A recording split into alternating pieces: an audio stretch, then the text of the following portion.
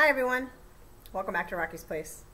Hey, this month, the month of October, is actually a really big month in regards to awareness for various different um, things that are going on in the world, different conditions. Um, I know the really big one is breast cancer awareness.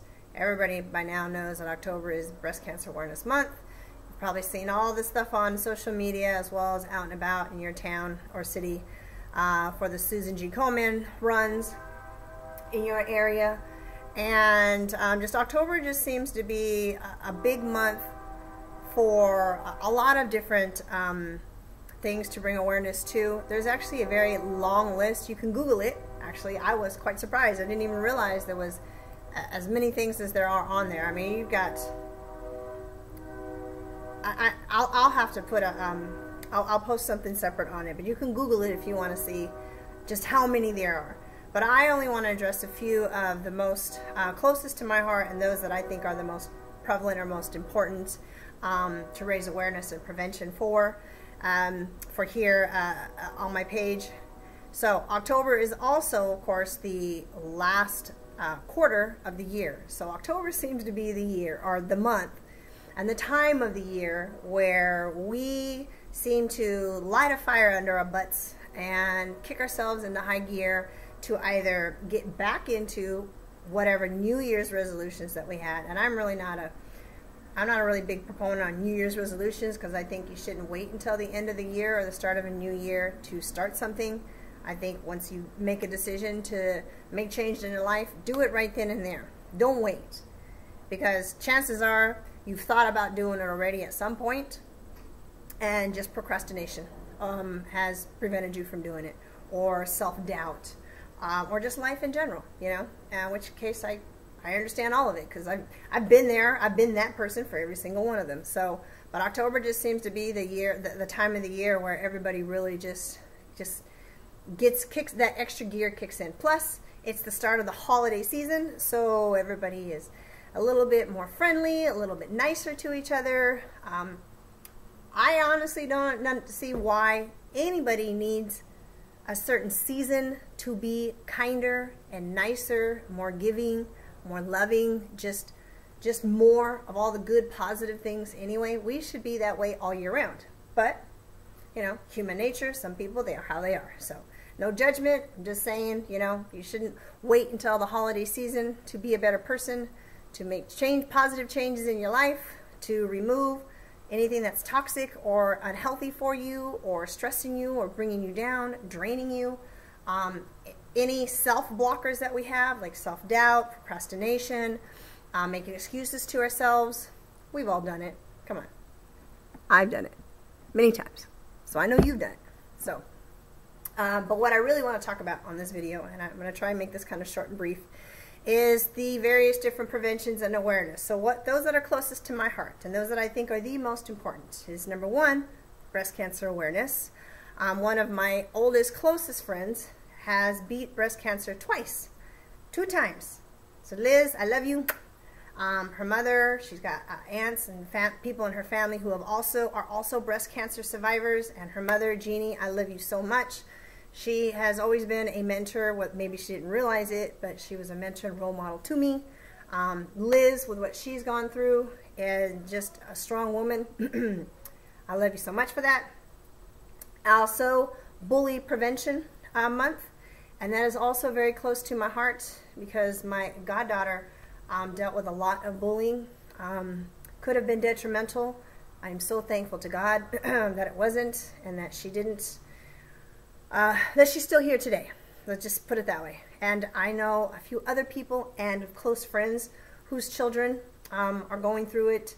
Teenagers especially are susceptible because as a teenager, I mean, we're so hormonal and we're just even trying to figure out who we are. And you've got the stresses of junior high and high school and peer pressure and then the sports and the parents' ex expectations, our own personal expectations. I mean, ah, I would never ever want to be a teenager again.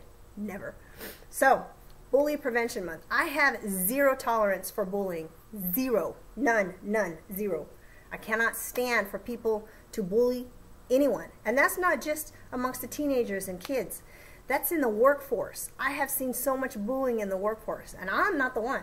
I have been doing what I've been doing for far too long, and I know not only my my legal rights, but just self-respect wise, I don't allow anybody to talk down to me and to bully me. You shouldn't either.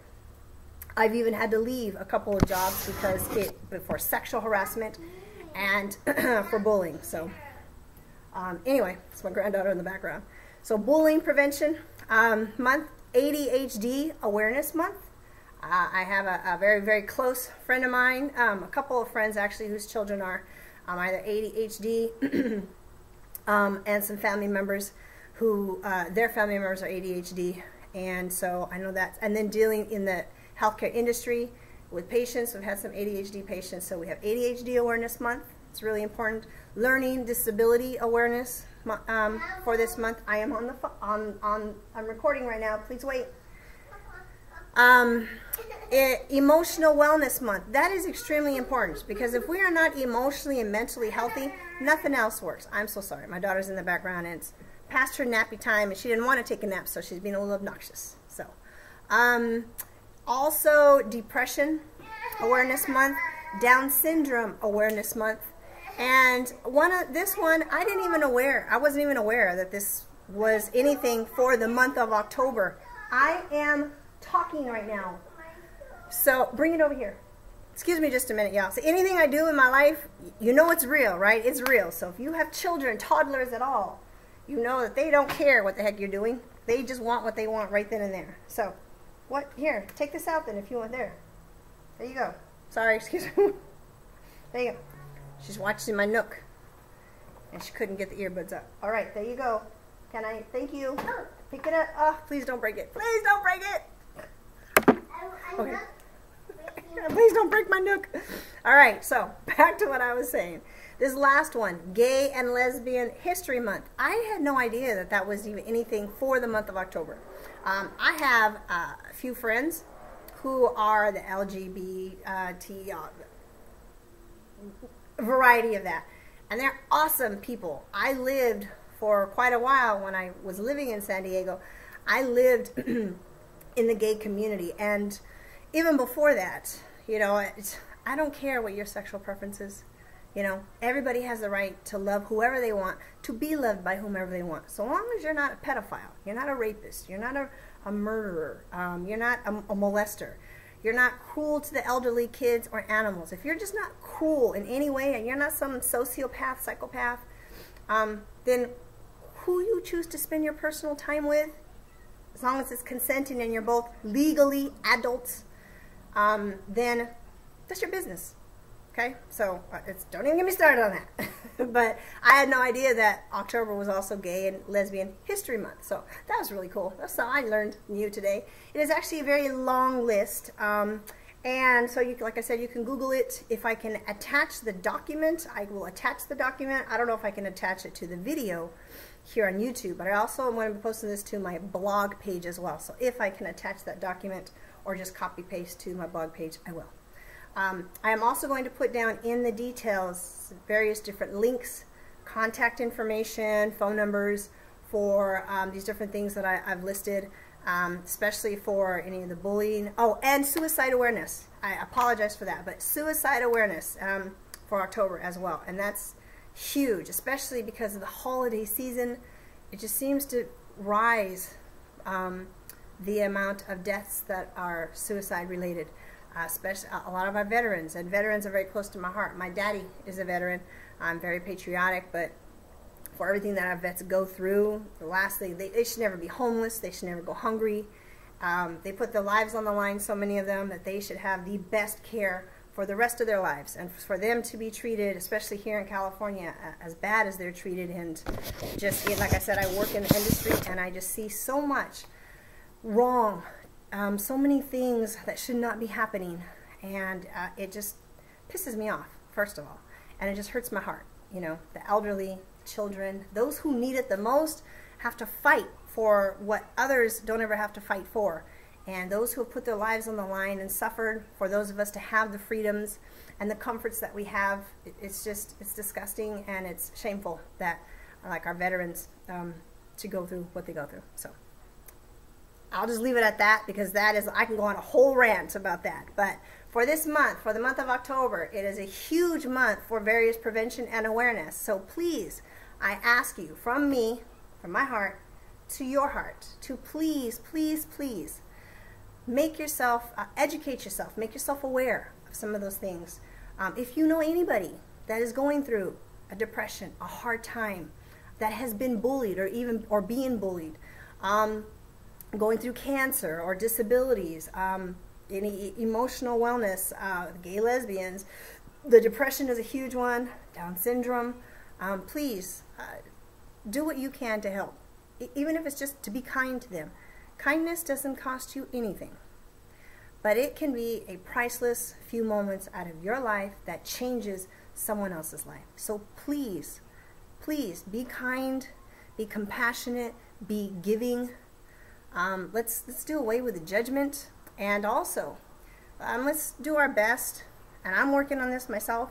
Is to be more forgiving, especially to those who are undeserving of the forgiveness. Those who don't give a crap whether you forgive them or not. Those who have done you so wrong caused so much pain and maybe that pain was maybe it happened a long time ago maybe it happened several years ago and it still is burns inside of you you know we have to learn to forgive the people who are malicious in their intent to hurt us. And anybody who knows what they're doing to you and they do it anyway that's intentional okay?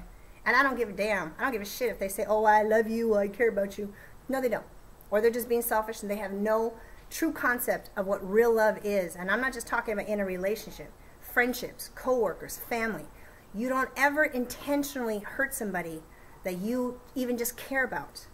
You don't intentionally cause someone else harm, period, if you have any self-respect, and then continue to do it over and over, all right?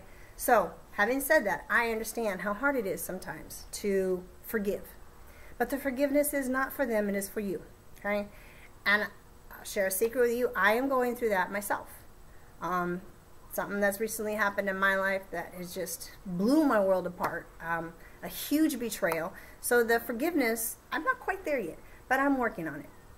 And for all of my spiritual people that are out there, as far as I'm concerned, you are all my spiritual brothers and sisters. But I know that not all of my followers are have a strong faith or even faith at all. they may not be very spiritual. I don't care whether you go to church or not. That's not the point. It's your personal relationship with God and or the universe. Okay, I am a spiritual woman and I work on it all the time. I'm not perfect. Sometimes I have to work at it harder than others on some days. Um, so I have to work on the forgiveness. And the forgiveness not only for these other people who have wronged you in whatever way, but also forgiveness for ourselves. And I'm another sharing with you is, you know, I'm dealing with that as well myself. Some of the things that I've gone through, decisions that I've made, and in hindsight, I'm like, why? Why did I make that choice? You know, why did I do that? Especially if somewhere in your mind there was a red flag or an alarm going off, but we chose to ignore it because we were so in our feelings. And I'm a very emotional, I, I feel things very, very strongly. Whatever it is, positive or negative, I feel it 100%.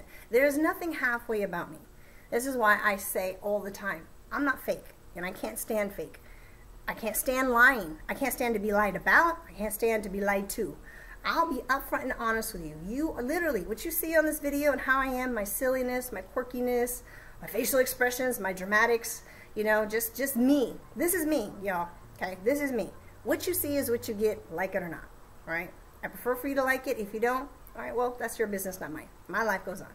And, you know, it's hard to do that sometimes because there are people that we care about. There's people that I care about. And I care about what they think to an extent. So, and there's nothing wrong with that so long as you don't allow it to control you. So, having said that, you know, I know it can be really hard to forgive ourselves as well for choices that we made, especially when they don't just affect us, especially when it affects those closest to us, those that we love. For me, it would be my children. Um, you know, anything that I've done, made a bad decision on, and it's affected my children, I still, to this day, there are some things that I am still fighting to forgive myself for. So if there's anybody out there who needs to forgive themselves for something, it's never too late to do it, to work at it. And um, I encourage you, please, please to do so. Because the forgiveness to others and forgiveness of ourselves releases us and frees us um, all that negative energy, the blockers within ourselves, all that is gone, and you leave yourself open to receiving the positive energy that constantly flows around us, to receiving love, to just loving ourselves. And that's the most important thing. So, in a lot of these people who are being bullied, and there goes the dog. if it's not the toddler, it's the dog. Oh my gosh. Good thing I don't have a bird, huh? Maybe I should just get fish next time because they don't make any noise. They just, that's it. So, the bullying, um, the depression, those with Down syndrome, ADHD, the gay, lesbian, those who are dealing with emotional um, wellness, um, various different learning disabilities. You know, people are really cool and can be very cruel and hateful, um, prejudiced and judgmental to all these different people that are going through this. So um, please, if you have ever been that type of person, I encourage you to stop um, and to change because you never know. Something can happen in your life where you all of a sudden now are dealing with a disability or a condition or someone that you love suddenly it happens to. So, you know, it's so easy for people to say, well, what, that doesn't affect me. It's not happening in my life. What do I care? But it easily could. And just because it's not, that doesn't give you the right to be hateful and mean and ugly and cruel to someone else. Okay? I just cannot stand to see cruelty. I, I can't stand it. So, um, anyway, like I said, I, I know I've kind of gone off a little bit, so let me just, let me bring it back, back into the middle and I'll leave some information down below. But we are in the last 90 days of 2017. And I don't know for y'all, but for me, 2017 has been one hell of a year. It has been a huge year in changes for me, huge changes. Um, a lot of personal growth, especially a lot of personal spiritual growth as well, deepening in my faith. I am strong in my faith already, but the more challenges that we go through, it only strengthens and deepens our faith. Um, and I truly believe that the bad things that we go through, um, even the choices that we make, you know, they're lessons learned for anything that doesn't go right. And you use those as stepping stones to elevate yourself, to better yourself, and the rest of it, let it go. Easier said than done, I know, because uh, I'm working on some of that myself. Right? So I will never ever pretend to be anything other than just being real with you. I share a lot of things because, and I haven't even begun to share everything that I intend to share. But because I know that there are people out there that are going through what I'm going through now, have gone through what I've gone through, and I have some virtual mentors, um, as well as some personal mentors of mine.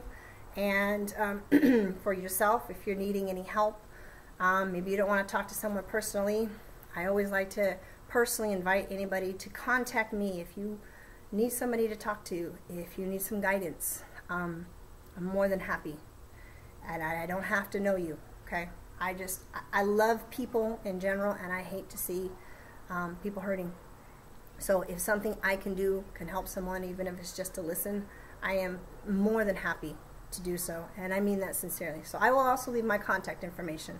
Also, I want to send an invite out to anyone who has overcome and dealt with cancer. And it doesn't just have to be breast cancer, even though this is October, any cancer, anything major in your life. If you have a story and you want to share it, I also have started doing some podcasts. But um, I would love to interview anyone who's willing to uh, be interviewed and tell your story, share your story. Uh, if it's just the name, if you don't want your real name, and uh, we can use a fictitious name if you'd like, but you want to get your story out there, contact me. And, oh, my grand, oh my God, she just, oh my God, she did like some WWF, like sumo whatever on me just now. Oh my gosh, I almost went flying. You can hear right? She thinks it's funny. Okay, stop, stop. Grandma's, wait, wait, let Grandma finish. So for those, oh gosh, so for those of you, those of you who have a story that you want to share, and um, I would be honored and grateful to uh, have the um, opportunity to speak with you. Direct message me, email me. I'll leave my message below. You, um, you can also contact me on my Facebook page, and I'll put all that information there. And if you are interested in doing that, I would truly love to share your story. So, uh, again, thank you so much for coming back and visiting me at Rockie's Place. Please like and share this video. Uh, sharing the love is always appreciated, and the more people I can touch in this world, um, the better. That's my purpose, that's my intent, and that's what I'm doing. Leave your comments below, and I shall talk to you the next time. Be blessed, be kind, be happy, and please, please, please, please, let's just be a little nicer, a little more patient, a little more kindness and compassion to people. Okay? Thank you so much, and I'll talk to you soon.